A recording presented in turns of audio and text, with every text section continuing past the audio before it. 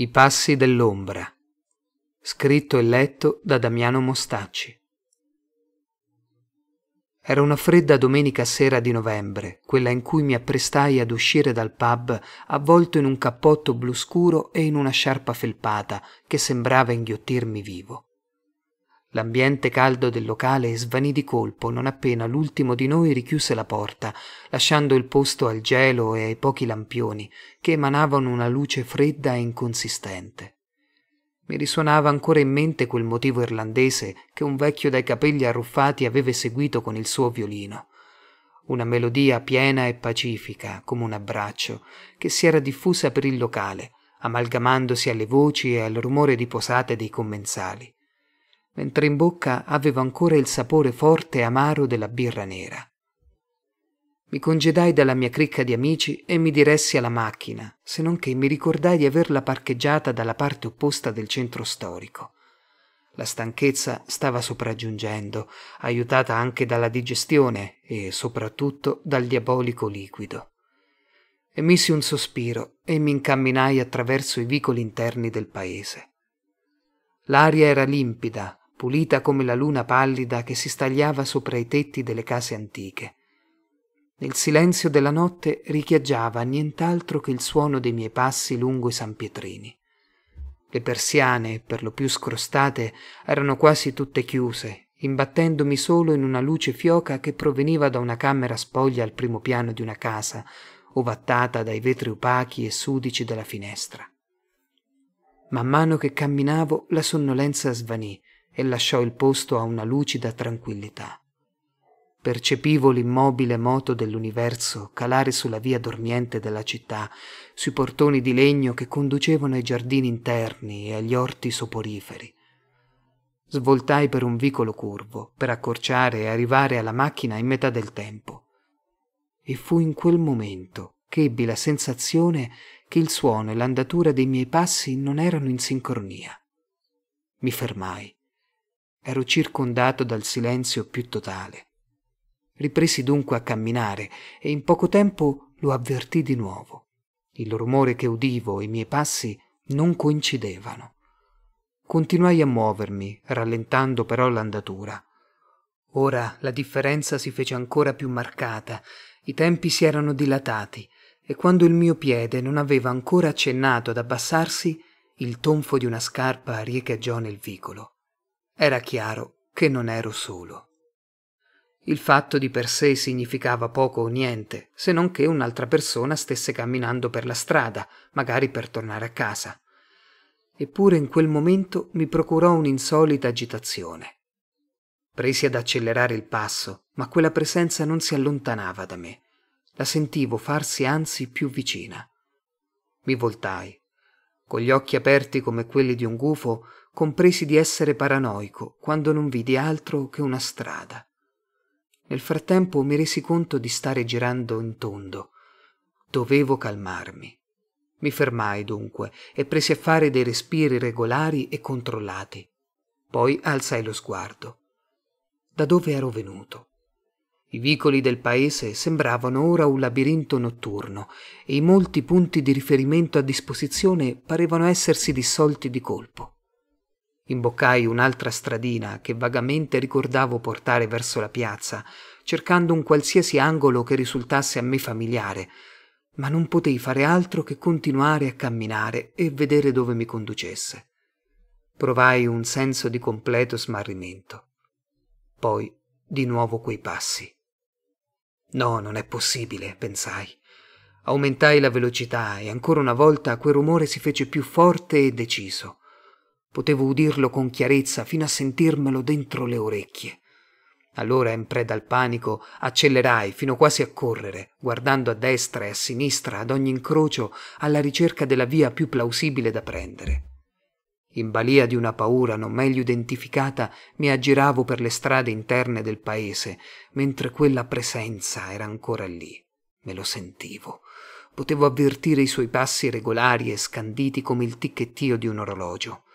Ormai non sapevo più se l'avessi ancora alle spalle o se mi stesse girando attorno. Mi bloccai. Poi, Sentendomi messo alle corde, cominciai a parlare, imprecando verso un qualcosa che forse non esisteva. Maledetto, fatti vedere, urlai. Ma quella carogna continuava a celarsi nell'oscurità. Mi sentii il cuore in gola, assordante nel suo irrefrenabile pulsare. Pensai di aver perso completamente la bussola quando nel terrore riconobbi una via.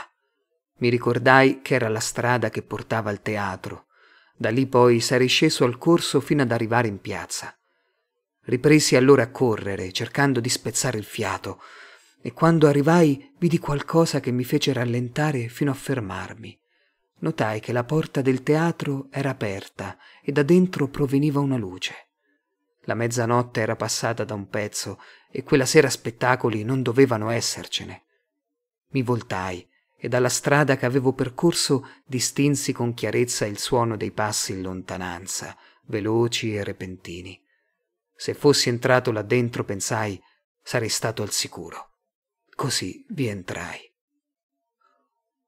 Ora davanti ai miei occhi c'era soltanto il sipario rosso del palcoscenico. Nella sala d'ingresso e lungo tutti i corridoi non avevo incontrato nemmeno una persona. Che cosa ci faccio qui? mi chiesi alzai lo sguardo. Tutto era in funzione, ma non c'era nessuno che potesse usufruirne.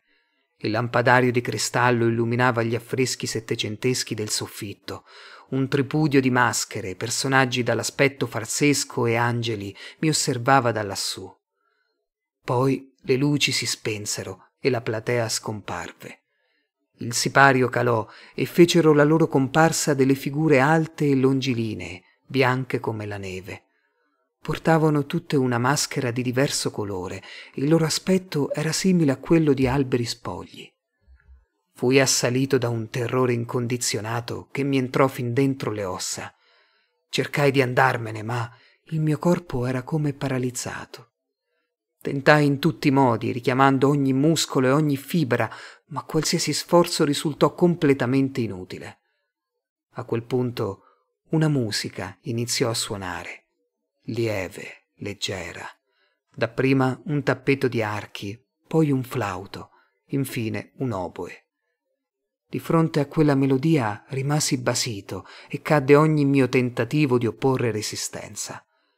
Le note aleggiavano nel teatro come le acrobazie prodotte da uno stormo di uccelli, formando figure di una geometria musicale di rara bellezza. Sentii il bisogno di sedermi e improvvisamente il mio corpo si sciolse. Rimasi seduto per un tempo indefinito ad ascoltare quella musica celestiale, mentre le figure sul palcoscenico si muovevano lentamente, con gesti ampi e astratti, come alberi che prendono vita. Tanto fui rapito da quella bellezza che quasi non prestai attenzione alla mano che si posò sulla mia spalla. Allora mi voltai e vidi un uomo in piedi accanto a me. Si abbassò e mi sussurrò in un orecchio parole vuote. Continuavo a non capire e mentre cercavo di districarmi dentro di me, la musica cambiò. Un violino emerse tra tutti gli altri strumenti e prese a suonare una melodia piena e pacifica, come un abbraccio. Fu solo allora che lo riconobbi. Vidi il suo sorriso pieno di odio, i suoi occhi freddi come ghiaccio, i suoi capelli arruffati da vecchio. Che cosa vuoi da me? chiesi, ma mentivo, perché sapevo bene cosa voleva. Quando feci per ritirare il braccio, il vecchio rapidamente me lo afferrò. Provai debolmente a oppormi, ma sentii che la mia volontà era come svanita. Le mie urla erano divenute deboli sussurri. Il vecchio mi diceva che era tutto a posto, ma non mi fidavo della sua voce. Poi lentamente lasciai la presa. La musica cessò, le luci del palcoscenico si spensero e tutto si fece buio. Quando l'uomo del racconto si risvegliò, il palco era scomparso e davanti a lui c'era soltanto una parete bianca e imbottita. La poltrona era diventata un letto spartano e al posto dei lampadari di cristallo c'era una luce fredda e neutra. La porta si aprì ed entrò un vecchio dai capelli arruffati, con un lungo camice bianco. Dottore, ho letto sul giornale che domani a teatro c'è uno spettacolo bello bello. Mi ci porta, dottore? Mi ci porta? disse l'uomo sdraiato.